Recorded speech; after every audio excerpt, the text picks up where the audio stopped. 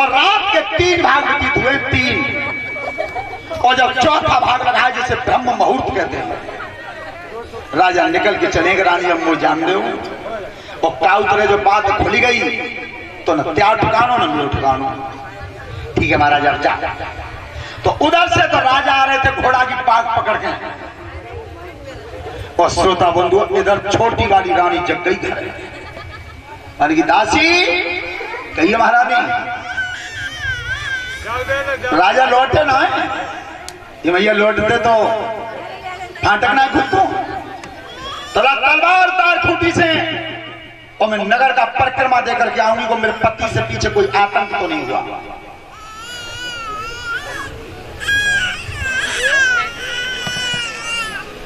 श्रोता बंधु, आज इधर से तो रानी जा रही थी और उधर से आ रहे थे महाराज। और जब घोड़ा के पैर के बाद भाई सड़क पे। रानी की कौन राजा को हृदय हलगो भीतर ते का चुक्का मालूम पत्ते को छोटी भाई रानी आ रही है।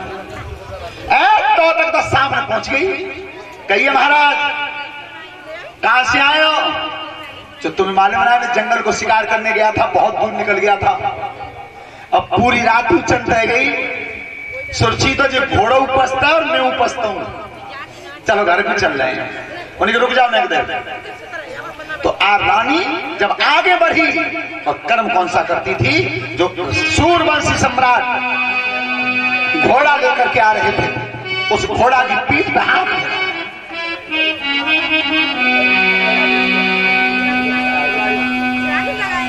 घोड़ा की पीठ पे हाथ फेरो रानी ने, छोटी वाली ने, और तब कह रही है, क्या?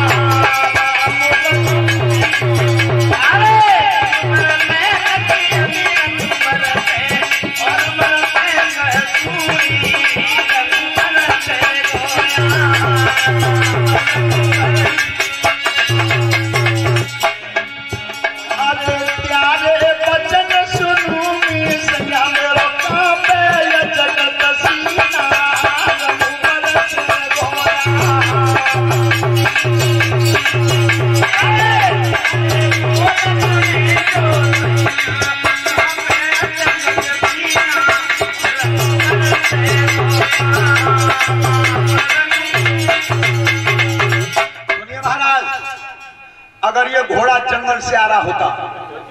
तुम कह रहे हो, जंगल से आ रहे हो? और घोड़ा उपस्ता और तुम उपस्ता हो। जी बात में चिरगरम बैठना रही सही क्यों? अरे जो पति घोड़ा की बनसिया तो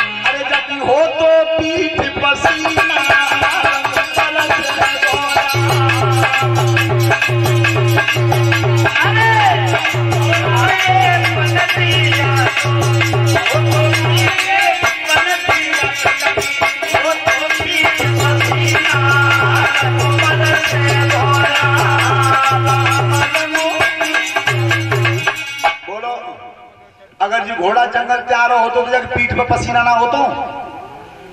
राजा ने की का बच्चों, बात पकड़ी जाएगा। इतने चिताओं में वहाँ नीचे का देख रहे बताओ ना। अब राजा की आवाज़ बंद। तुम ना बोलो अब मैं ही बता रही हूँ। क्या? अरे तात पिया मोई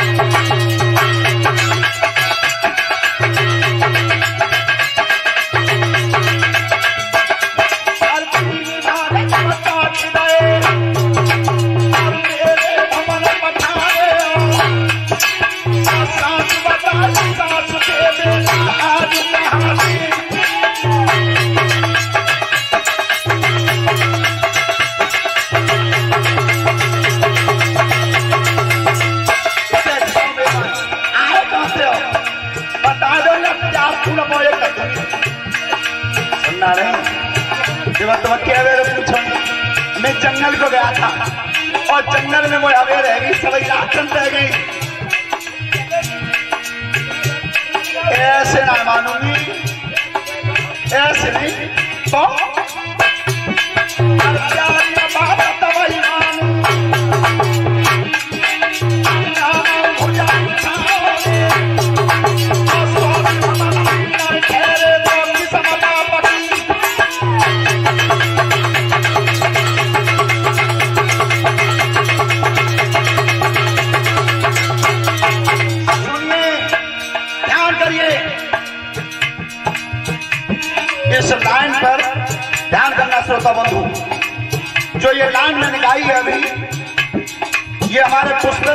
कैसेट में भर दिया ध्रुव चरित्र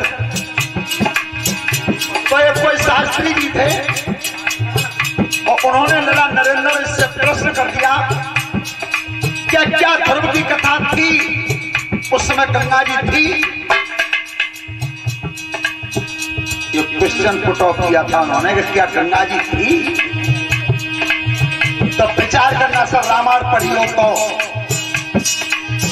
एक कागभूषण कौआ ने कहा है, क्या मैंने अयोध्या में राम को कब कब देखा है?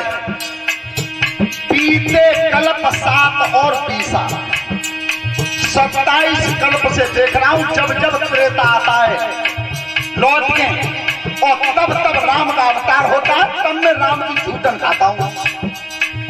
कब कब? जब जब त्रेता आता तब तब। तो ध्यान रखना जब जब शत्रु आता है और गंगा जी का अवतरण होता है। लेकिन गंगा जी हमेशा उत्तर दिशा की तरफ़ मानी जाती है। तो गंगा जी कलयुग में भी है और सतयुग में भी और माता बहन मेरी बात को गौर से सुनना। गंगा मैया के नाम का जब दीपक जलाना घर में रोज़ाना, संध्या के समय। और रामायण की पुस्तक घर में रख देना तो नाक कान काट देना।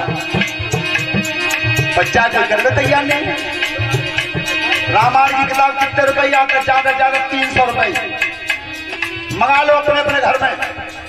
गंगा मैया के नाम का दीपक रोज़ाना संध्या के समय। पूजा की अलमारी बना दो घर में। और कटी तो जाई विचारे करेंगे जब बच्चों घरवाई नहीं गए तो दही रामायण की, पर तीन सौ रुपया में तो चाकड़ा कटेंगे, चार पौआ आ जाएँगे।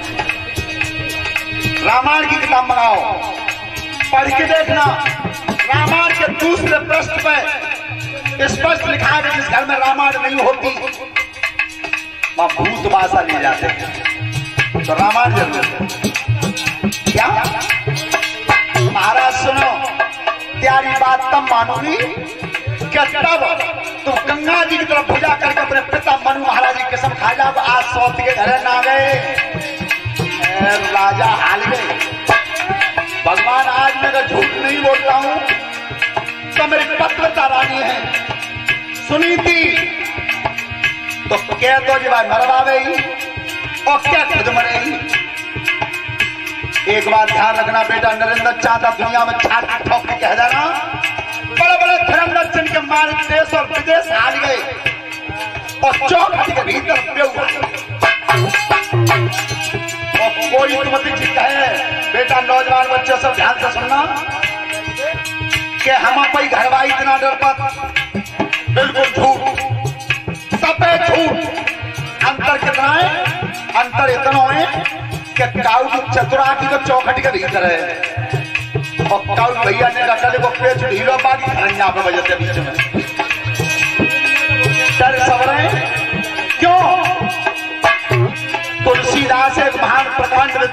हैं एक के लेना लिखी कि जी हमारे जुगराज सिंह फौजी डर के मैं कहाँ पता है भीतर?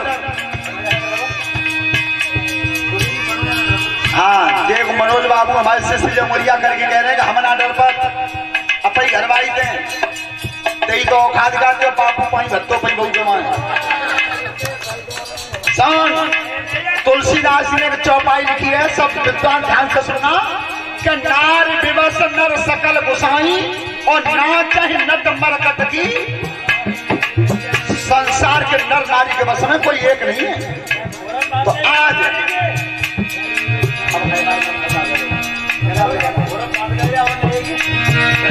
ध्यान रखना, आज सूर्यवंशी सम्राट जो सूर्य होता था सूरस्त होता था तक के राजाए और आज ये घरवाली के सामने क्या कह रहे हैं।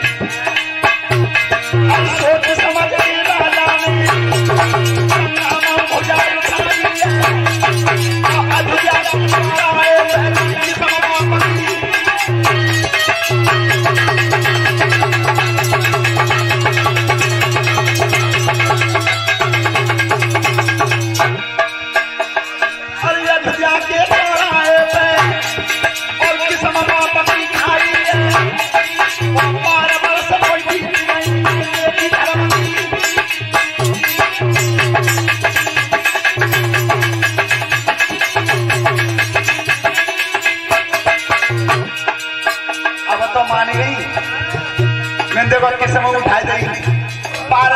साल क्यों ना है अब आ जाओ।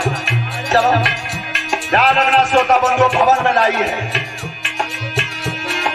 एक भाग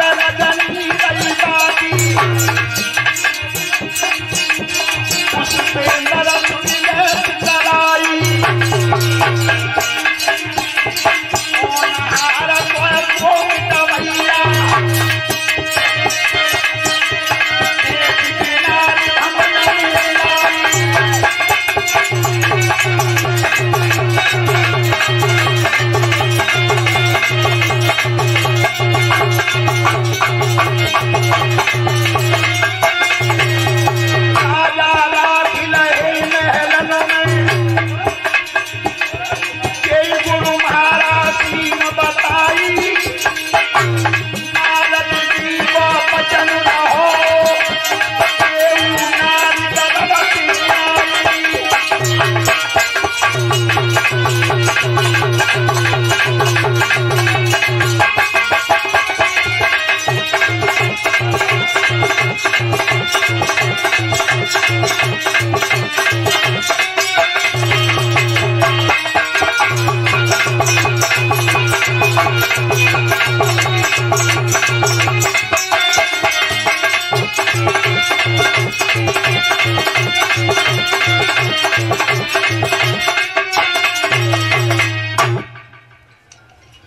बड़ी रानी के कारागृह में गर्भ ठहरा था और छोटी रानी के राजभवन नारद जी की बात सत्य हो गई।